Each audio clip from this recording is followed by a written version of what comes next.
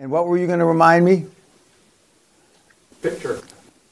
I'm telling you, it's tough to get help these days, you know? Okay. Okay. And what does it say on there? Borax. Borax. Okay. And the reason for this is, again, remember I've talked about Kelly Norwood, the, the, the disbarred uh, University of California Berkeley lawyer, defrocked, who is my sales manager, and he said, Peter, a boy like you ought to sell every fucking one that walks through the door. And I sold 94.6, and I was sick to my stomach about the uh, 4. Point, um, uh, 5.4 people that got away. Anyway, he also had another uh, bit of words of wisdom. And, um, and it's basically what we do at this seminar. Uh, and uh, for those of you, um, this is before computers, etc. This was in the um, late 60s or early 70s, I should say.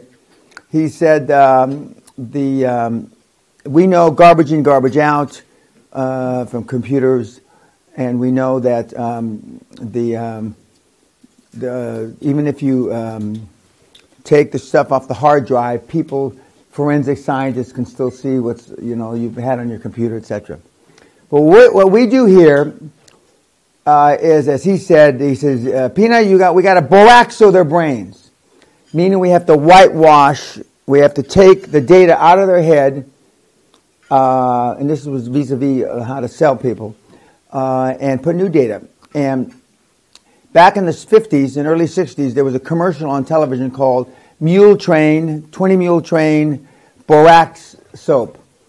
And it was, and the sales, uh, or the um, selling person of it was Ronald Reagan before he became president. and he would sit there uh, looking uh, not so presidential, and he would tell you how you can get Boraxo soap. And Boraxo soap is this, it's like really uh, gritty soap. But Boraxo soap used to take the fucking skin right off your hands. And I didn't know that they still sold it, and Jeff saw that they were selling it someplace. At The grocery store, and there it was. Yeah, and um, basically what we're doing at this seminar is we're boraxing your fucking pea brains.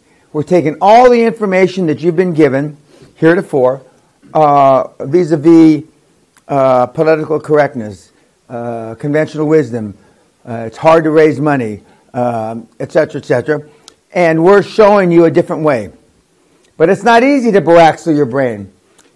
Just as it's difficult to wipe a, cl- a hard drive clean, um, you will think you're forensic scientists because you'll search back in your little pea brains for the information that I boraxoed out this week. And the more often that you'll go back to search for that information is when you go back home and you start talking to these fucking idiots. Which heretofore were your buddies, hanging out, family, etc. Those same people that you go to the sports bars, drink, belch, and fart with. And pretty soon, slowly by uh, slowly but surely, they'll edge back into your brain the information that I've tried to boraxo out, that I've tried to wipe clean. That's why we have the weekly reports. Because every time I see that you're drifting back, I slap you in the fucking head. And that's why we have the um, monthly conference calls. Uh, and occasionally, even some of your classmates will slap you back into reality. Now, I told you I don't want you to bond, and I'm not, I, don't want, I don't want you to swap, uh, swap intellectual spit back and forth, but you will. You'll email each other, and when you feel insecure and you feel like a cunt, you'll email, blah, blah, blah, or you'll email somebody that's been here more than once. Oh, is that, you know, I'm having trouble. Yeah, okay. I'm not telling you to do that. You'll do it anyway. Last group actually got a website. They have a Facebook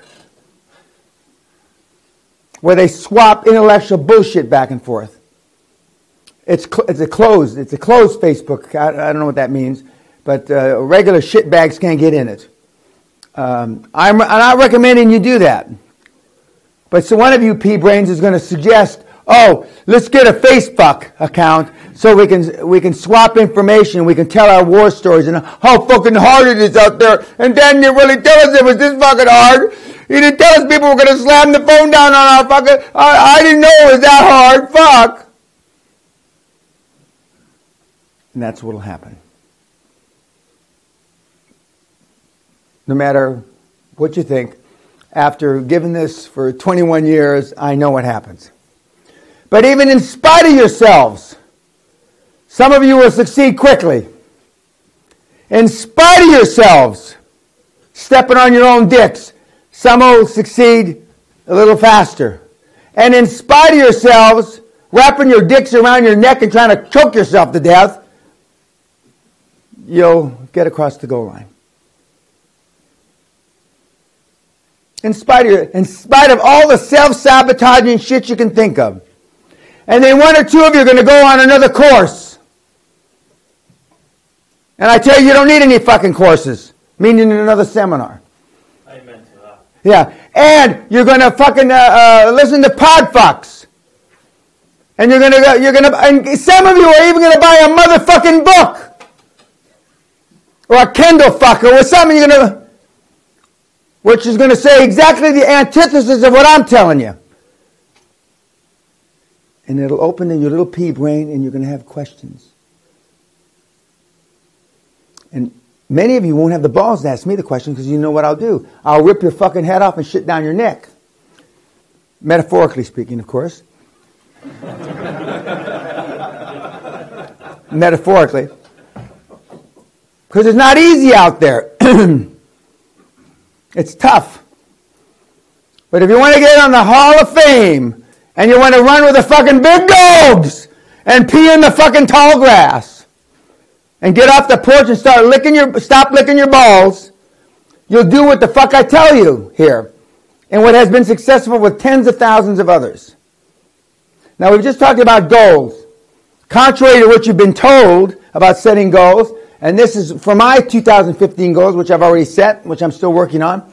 My own QLA, this is me, 2015 goals. To qualify, they must be one, fucking bold.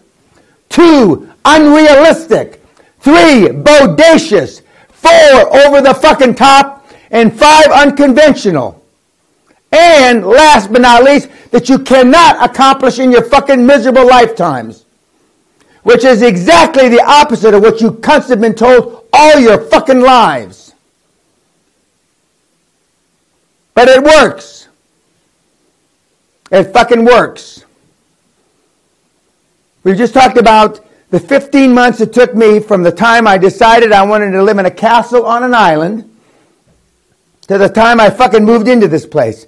Not this place, because this is the pavilion, but the castle next door. If I had asked you, if you were alive 30 years ago, some of you weren't alive 30 years ago, you would have said, not, not, this is not possible. And the English was in, actually, Mr. Peña, I don't believe that you have a, a, a ghost chance in hell, you know. I don't, I don't believe that's possible. Well, it is possible. And we have other people in the Hall of, of uh, Fame that have attrib- uh, accumulated and created wealth in very short periods of time because they had big, bodacious goals. Big, bodacious goals. And you can as well. But to the extent that you allow conventional wisdom to creep back in your little pea brains, after I boraxoed them clean, it'll be only making it more difficult for yourself. Only making it more difficult for yourself. Now, tonight, your homework is to write your goals and affirmations. We've already been through that. And tomorrow morning, we will go over uh, in some detail your goals and affirmations. And I want them bold. I want them over the top. I want them to be unrealistic. As I've said before, even though I don't agree with the President Obama, a lot of his administration, one thing I do take my hat off to him for him, uh, relationship is he set bold goal to be the president, the first black, he didn't actually say black president, but he's the first black president in the United States when he was just a kid, and that's pretty fucking heavy, considering where the world was when he was a kid, vis-a-vis, you know, when he became president six or six and a half years ago. Did you have a question? Yeah, what's your minimum requirement to get onto the, onto the Hall of Fame? It varies. it varies. We got people that created eight figures and billions, and we got uh, people that created tens of millions. And we got a couple people that didn't create big wealth at all, but they're at the top of their game They're the leader in the country or the world, uh, and um, we have a couple athletes there that represented their country. Um, the uh, so th- there's no real, you know, 10 million gets you there, 5 million gets you there, you know, 1 billion gets you there. We've got all those though. We've got all those. it's the measurement is being all you can be. Being all you can be. And uh, the, um, you know, as I've told you before, we've got people that are doing six million a month up there. We've got people that created 200 million. and we've got people that uh, are running big multinational corporations. And we got a, a sitting governor, which I didn't even know he got reelected. So it depends. It all depends. So you're not going to get an email or a post. You know, do they still send postcards? You're not going to get a postcard that says, "Oh, you made it." uh, just like there's no um, benchmark to get on the Hall of Shame. I say tongue in cheek with a little sarcasm. There's a couple of you that are more likely to be on that wall than that wall, uh, just because of your proclivity for, uh, shall we say, um, no, we won't say that. We, just that the, you know for the, perhaps the the type of business that you're in or the type of business that you're contemplating being in. Any questions about goals? Other than how much does it take to to to make it uh, to the um, Hall of Fame? It's also not likely any of you are going to be in my influence list. That's not absolute, but it's not likely. Most of the people up there are dead. But uh, the uh, maybe as a mercy fuck, I uh, and when you die, I might throw you up there for a couple of months just for fun. okay, on that happy note, talk to you later, YouTubers.